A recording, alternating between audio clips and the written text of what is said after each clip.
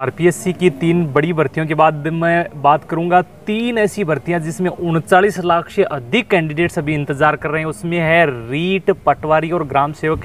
इन तीन भर्तियों की अगर बात करें तो बड़ी संख्या में कैंडिडेट्स को अभी इंतज़ार है और तीनों में अलग अलग पेज फंसे हुए रीट की बात करें तो यहाँ एग्ज़ाम डेट डिक्लेयर नहीं हुई है। उसके बाद रीट की जो पुराने सर्टिफिकेट्स की वैलिडिटी को लेकर भी कुछ कंपेन अभी चल रहा है सोशल मीडिया पर। उसमें भी कुछ निर्णय होना है। साथ ही साथ पटवारी भर्ती और ग्राम सेवक भर्ती को लेकर एक कॉमन एंट्रेंस एग्ज़ाम की बात आज फिर चली है। पत्रिका सीकर ने जो मामला उठाया, उसके अकॉर्डिंग ग्रेड पे वाली जो भी भर्तियाँ उनके लिए कॉमन एग्ज़ाम की गुंजाइश भी कहीं ना कहीं बन रही है। इसको लेकर राज्य सरकार और केंद्र सरकार ने घोषणाएँ की है। तीनों पर बात करेंगे, इसलिए वीडियो को लाइक करें। सबसे पहले और चैनल सब्सक्राइब करें, अगर नए हैं तो ताकि आपके पास लेटेस्ट अपडेट मिल सके। सबसे पहले वन बाय वन में बात करता हूँ।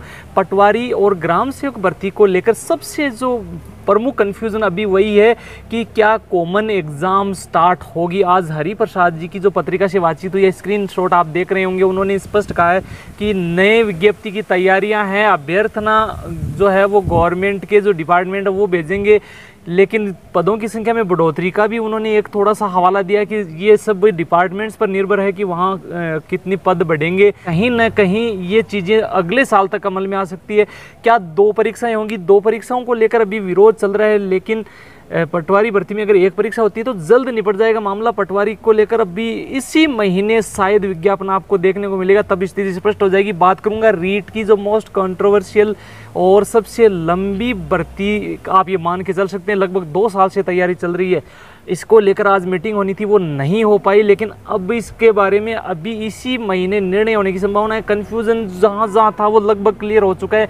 अब एक नया कन्फ्यूज़न क्रिएट किया, जिस पर सबसे ज़्यादा सवाल उठ रहे हैं कि क्या अभी यहाँ भी पुराने सर्टिफिकेट की वैलिडिटी बढ़ाने से नई समस्याएँ उत्पन्न नहीं होंगी?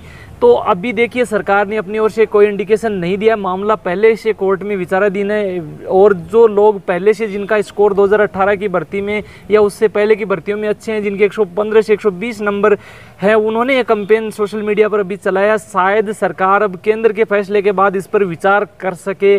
तो कंपटीशन आपका बढ़ेगा। आप ये मान के चलिए कि वो भी आपके साथ कंपटीशन में है, पुराने अपने सेफ़ स्कोर के साथ आपको स्कोर थोड़ा सा ज़्यादा बढ़ाना अभी यही मान के चलिए।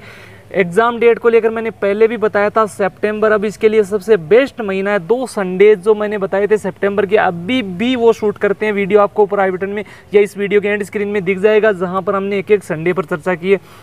वैलिडिटी एक्सटेंशन का प्रभाव बहुत से लोग ये पूछ रहे हैं कि क्या दूसरी एग्ज़ाम होगी? अभी तक कोई संभावना नहीं अभी तक पहली एग्ज़ाम है, वो फाइनल है, रीट है, उसका कोई सिलेबस वगैरह चेंज नहीं होना उसी को टारगेट में रख के तैयारी करें, कुछ लोग कमेंट्स करें 2022 का ये इधर उधर की बातें हैं, जिनकी नीयत नहीं है पढ़ने की, आप ये मान के चलिए, या फिर जिनकी डिग्रीज अभी तैयार नहीं है, या जो फ़र्स्ट ईयर के स्टूडेंट्स हैं, जो सोच रहे हैं कि दो साल में उनका सिलेबस कंप्लीट हो जाएगा ये सभी जो भर्तियाँ हैं, उनका इंतज़ार खत्म होने वाला है, इसी महीने आपका विज्ञापन आ जाएगा, परीक्षा को लेकर अलग अलग डेट्स हैं, वो भी डिसाइड हो जाएँगी, इसलिए अब स्टडी को लेकर कोई कन्फ्यूज़न नहीं करना है रीट को लेकर अपन लाइव सेशन में एक बार फिर से बात करेंगे, और पटवारी भर्ती से संबंधित कोई कमेंट है तो भी आप वो इस कमेंट बॉक्स में डाल सकते हैं। इसके अलावा वीडियो को लाइक करें और आगे की भर्तियों से संबंधित अपडेट लगातार प्राप्त करने के लिए चैनल सब्सक्राइब करके बेलाइकन प्रेस करें। धन्यवाद।